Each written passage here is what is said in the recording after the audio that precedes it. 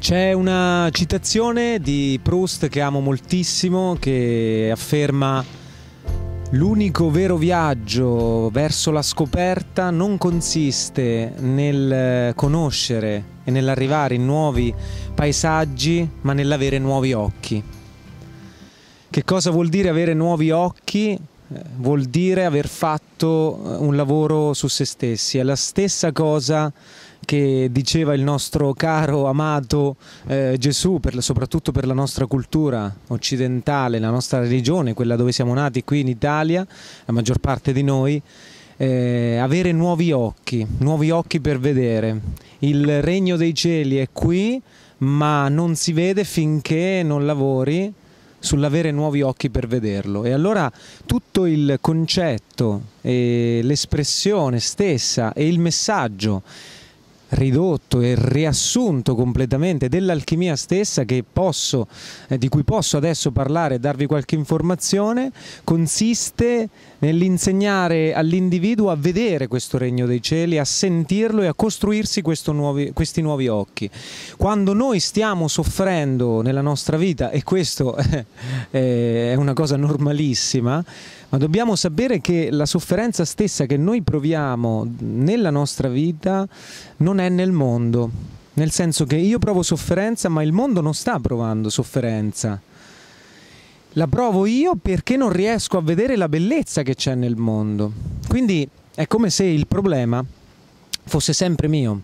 Noi non possiamo cambiare eh, le persone intorno a noi, noi possiamo cambiare noi stessi e vedremo queste persone diverse, così come noi non possiamo oggi prendere il mondo intero e portare un cambiamento completo nel mondo, ma possiamo cambiare noi stessi perché facciamo parte del mondo e quindi vedere un mondo che cambia grazie al nostro cambiamento.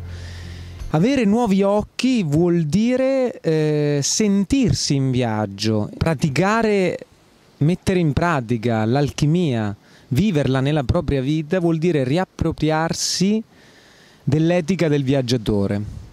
L'etica del viaggiatore vuol dire sentirsi in viaggio, sentirsi passeggeri a bordo di questa grande eh, astronave che è la Terra.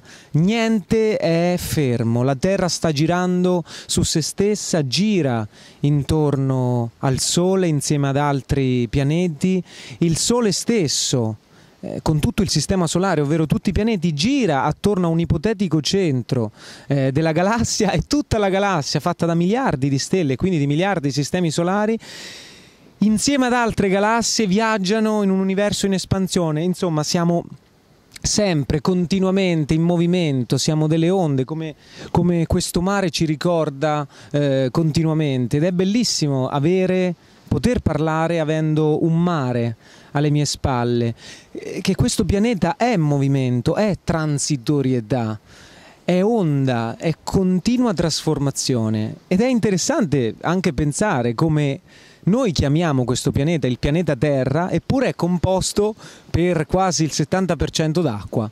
E perché non si chiama acqua? Forse verrebbe da farsi questa domanda, ma anche il nostro corpo allo stesso modo, come se fosse un frattale è quasi più composto d'acqua che di altro e questo è un grande messaggio per noi perché l'acqua è un messaggero.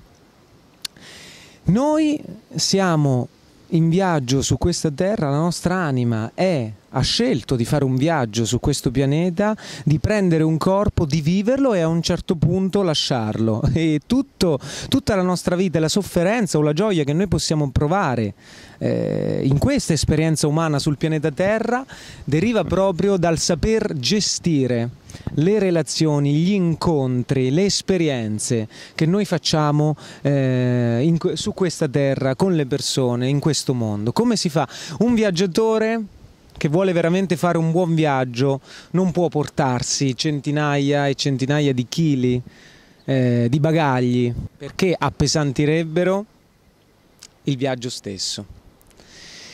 Il viaggio è possibile farlo con un bagaglio che permetta di muoversi liberi e leggeri e questo è un simbolo per noi, cioè che vuol dire? Vuol dire che la nostra vita noi la viviamo sempre in maniera rinnovata, assecondando l'onda, assecondando l'energia stessa del flusso che ci porta, noi viviamo davvero un'esperienza umana piacevole, soddisfacente, consapevole su questo pianeta nella misura in cui impariamo a vivere le belle esperienze. Ne prendiamo il meglio, il nettare, le esperienze che sono più spiacevoli, ne possiamo capire l'insegnamento, ne possiamo capire la, eh, il messaggio per noi che ci porta a comprendere, che ci porta a crescere, che ci dà una nuova consapevolezza e lasciare andare ciò che non serve. È lo stesso discorso è la stessa cosa che fa continuamente, ce lo insegna il nostro stomaco, il nostro intestino, nel senso che noi mangiamo, il nostro stomaco eh, divide sostanzialmente, trasforma le sostanze che noi mettiamo come se fosse un laboratorio alchemico, le trasforma, le rende,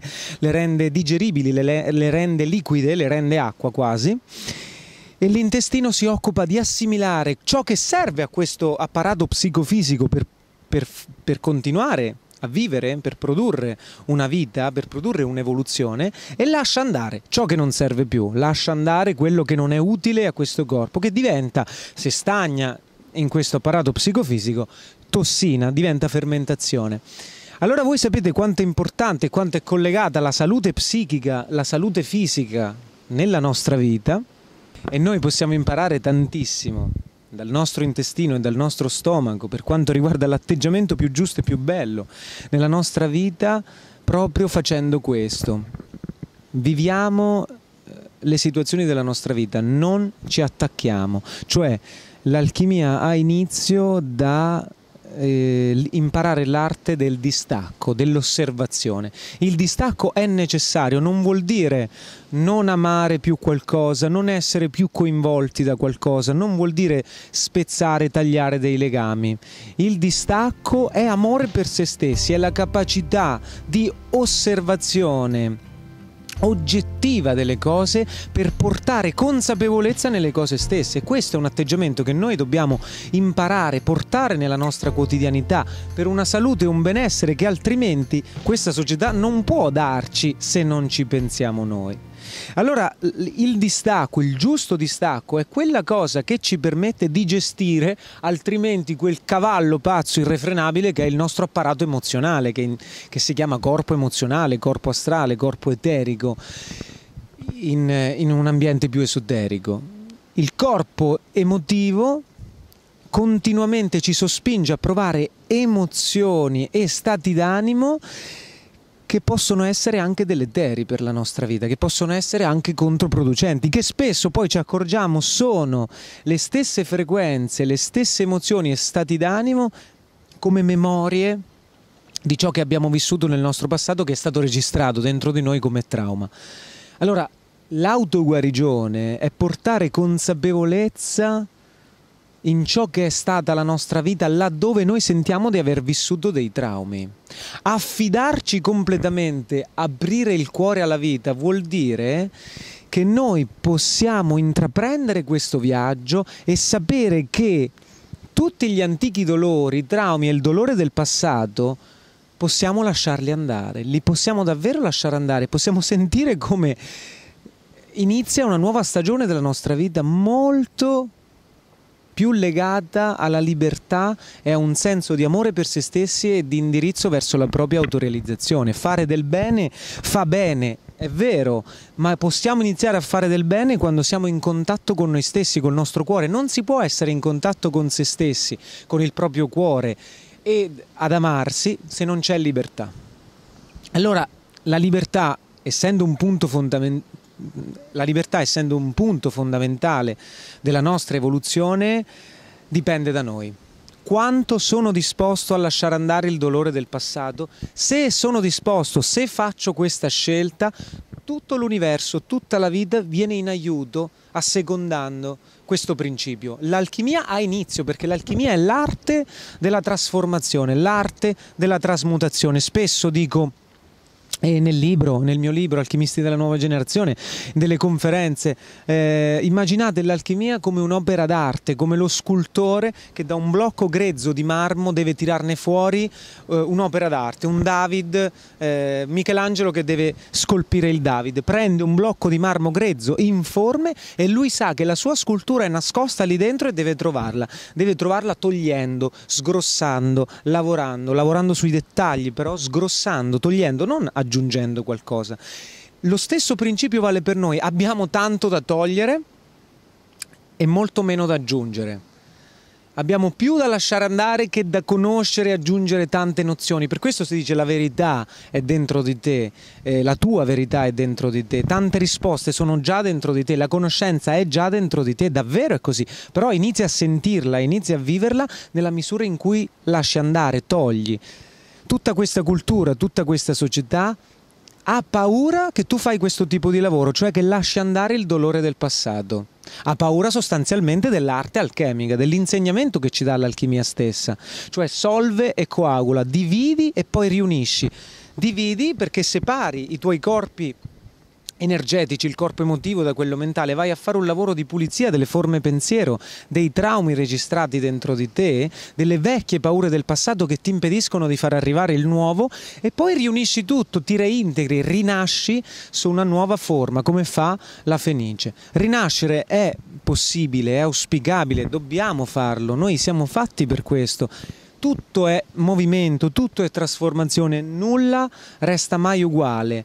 Il sole si muove continuamente, il mare si muove continuamente, il vento si muove continuamente, la terra è viva. Noi siamo partecipi e compartecipi di tutto questo. E quando ci sentiamo più soli e quando questa solitudine ci fa paura e ci spaventa perché abbiamo bisogno dell'amore, è un momento fondamentale a livello alchemico, a livello di trasformazione. È proprio quello il momento giusto dove sta accadendo qualcosa di importante. Non bisogna fuggire questo momento perché lì c'è la chiave.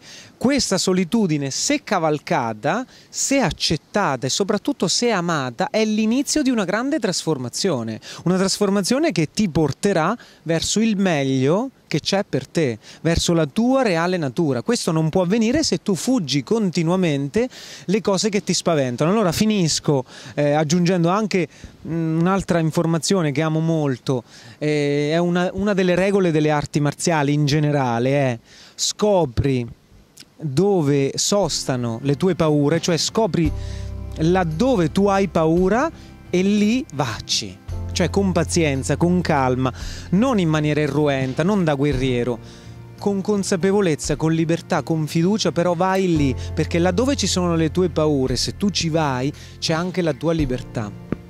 Cioè la possibilità di trasformare la paura in consapevolezza, cioè il piombo in oro, che poi eh, è, la, è la chiave, insomma, l'allegoria più importante di tutto il processo alchemico. Vi ringrazio per l'ascolto, molti e tantissimi altri di questi concetti eh, li ho scritti nel mio libro eh, Alchimisti della nuova generazione, Evolvere nella gioia, che è un libro di alchimia superior. E, mm, con amore, un abbraccio, Andrea.